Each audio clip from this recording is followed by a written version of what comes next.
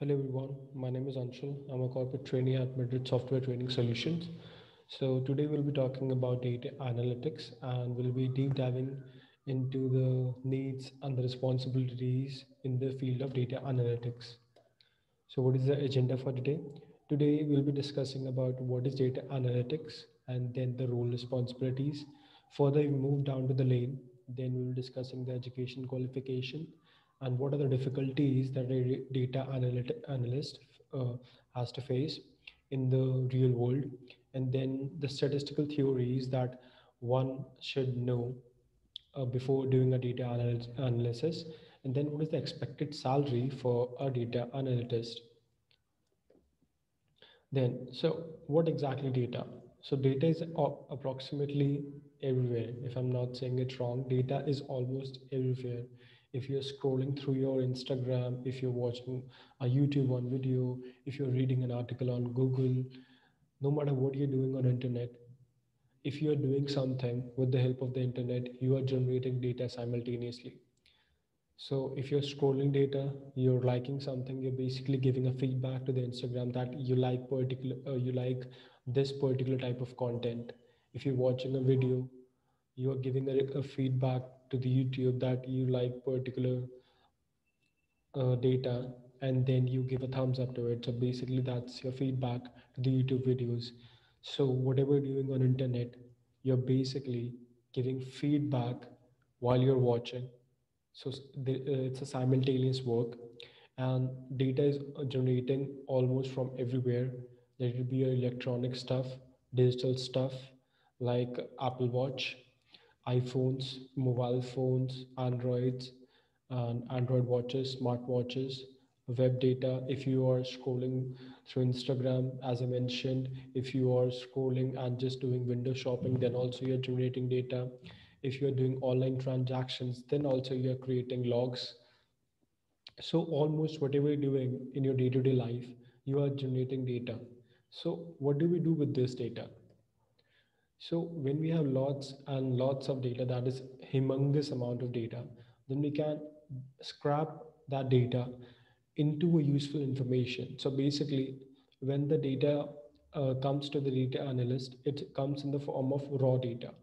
And the responsibility for the data analyst is to convert this raw data into a structured form so that it can be readable enough to interpret information. Also, we can do pattern matching and keyword based search on our raw data. That is basically uh, a part of indexing and searching for a data analyst.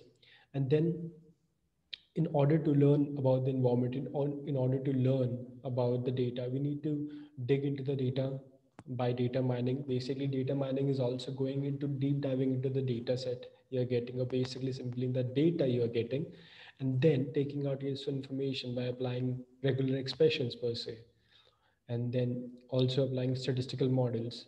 And with the help of those statistical models with the help of the that with the help of that structured data which you acquired from the raw data with the help of that particular model you can make predictive analytics. So what is exactly data analytics? Data analytics is as analyzing of raw data. In order to make conclusions about the information as i mentioned the the field of converting the raw data into useful information, into a readable information, so that we can create value out of that particular data. Many of the techniques and processes of data analytics have been automated into mechanical processes. You must have heard about machine learning. You must have heard about artificial intelligence. So basically the data you feed to those algorithms, you have to, you have to analyze that data. So basically you cannot feed a garbage data to an algorithm there is saying that if you put a garbage data into the machine learning algorithm, the output will be a garbage output. So that won't be a useful output. So data analysis is really important as a particular field as well as in other fields like data science, machine learning, engineering, and data engineering as well. Data analytics can also data analytics can also be used to identify seasonality and trends so, uh, and various other aspects of the data so that the company you're working for basically evaluate and enhance their strategies according to the need of the environment Then as you can see, this is kind of a data analyst Venn diagram. So data analyst consists of a person who has knowledge of mathematics and visualization and convenience. So basically, if you think that data analyst can be a person who has who need to have a hardcore knowledge of programming, uh, you may be wrong because it is more than that.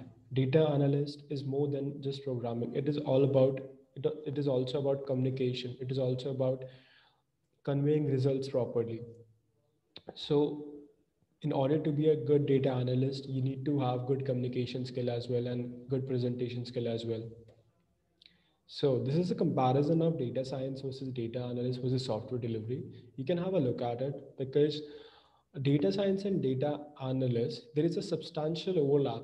They're not mutually exclusive and they're not and they are not separatedly whole, separated as whole. There is a substantial overlap, as I mentioned. then we have the role responsibility. So what exactly does a data, a data analyst do? So suppose you have a data. First of all, what do you do? You basically clean the data.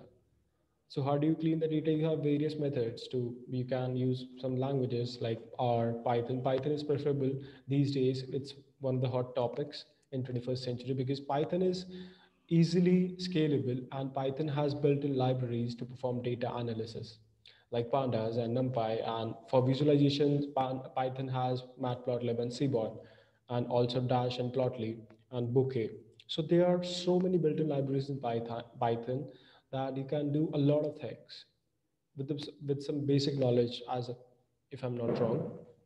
And then also a data analyst helps to translate data into visualization and visualization in such a way that a non-technical person is able to understand. Because suppose you are presenting information presenting uh, data or insights from a data to a non-technical person say your client so your client won't understand the technical terms may or may not be. He the client may be may able to understand the technical terms and may not be. But you will you will have in mind that you need to make him understand in the non-technical way with the help of visualization. A picture is worth a thousand words. You should always remember that. Also as a data analyst you need to work on data. So where do we get the data? You get the data from the servers. You get the data from the company's databases and in order to work on databases you need to have a knowledge of sql you need to know how to extract data with the help of sql queries and then at last when you finish your data analysis the main idea the eventually the eventual level of your job is to create a report so that you can evaluate and convey comprehensive results to add a value to your company. So this is a data analytic process. As I mentioned, you have the data and then you perform some data analytic insights.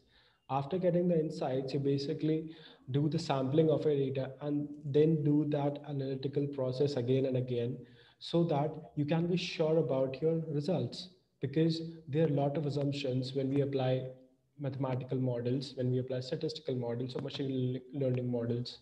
So in analysis, there are a lot of assumptions and you cannot be 100% certain about those assumptions because they are not, they do not work in every direction. So you need to have substantial checks on your exclusive results.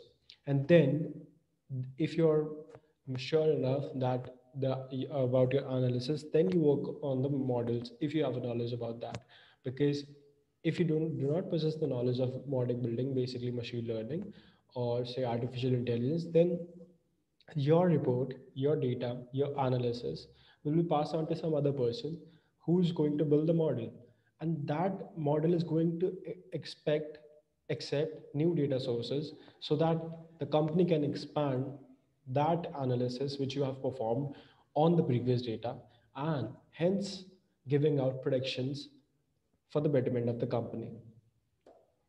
And so what are the qualifications of a data analyst? So a data analyst should be uh, should have a degree, not should, but it, if a person have a degree in statistics, mathematics, or in computer science, either of those, you are good to go to be a data analyst. Also, you need to have knowledge in statistical and data mining techniques. And if you have a knowledge of machine learning, then your way to go you can build models on by your own and then you can also apply social networking anal analysis like sentiment analysis in machine learning. Then a lot of data anal uh, analysis works on uh, works on heavy data sets that comes in the field of big data. And in order to understand big data, you need to have knowledge of Hadoop, Spark, Gurobi, MySQL, any of these, especially the MapReduce, because that comes in big data. And knowledge of advanced statistical techniques and concepts, including regression and properties of distributions.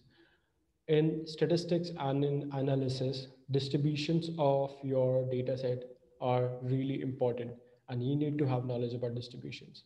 So what are distribution exact, exactly? We'll be discussing in the statistical part.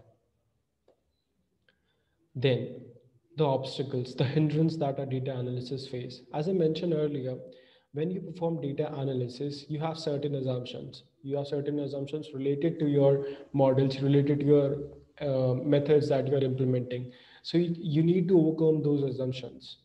Basically, certain suppose you want to apply a statistical test, a parametric test, but the data is not suitable for that.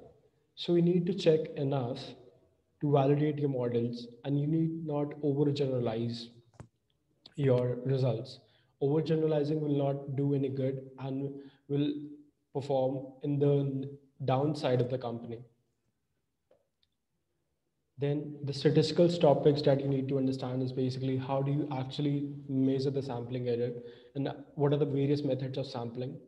Then you need to have a knowledge about the empirical rule, basically the normal distribution, that is a standard score, skewness, kurtosis, and the various methods to calculate distances like Euclidean distances, Manhattan, Minkowski, and then there are parametric and non-parametric tests. You need to have knowledge about those two as well there are various parametric and non-parametric tests, and there are various assumptions over them. You need to overcome those assumptions. You need to understand where and how and when we should apply these tests and when we should not. And then at the very basic level, you need to know about the probability distributions because once you know about the distribution of your data, it is easy to, for you to apply those statistical tests and then the applications. Data analysis has various applications in real world, like in security. Like you can be, you can use your analysis or more specifically predictive analysis has also helped in dropping crime rates. You can also calculate, you can calculate crime rates in your area. Then according to your analysis, you can, if you're working for a go state government, then you can, they will deploy troops in that particular area or increase security or deploy CCTV cameras and then transportation. So basically transportation also uh, data analysis is also there in transportation in order to get the fastest route in order, in order to get the cheapest route. So these these all these comes under the data analysis part then in the insurance company there is risk management then in the insurance world insurance world is heavily dependent upon data analysis because while a person is being insured there is a lot of data analytics that goes on during that process you don't want uh, a company doesn't want to invest in something that is going to be in loss in future. So that is why risk management is a core part of data analysis. And then what is the expected salary? That is that is the question everyone asks. If you're asking about what is data analysis, the end question is that what is the expected salary? According to the Glassdoor, the expected salary is eighty-four thousand dollars, but the salary depends on various aspects like your experience, your education qualifications, your performance, your core skills, your communication skills. So basically there are other lot of factors, but this is the average salary of a data analyst. analyst. So this is it for today. Thank you for your time. You can always contact at info at the rate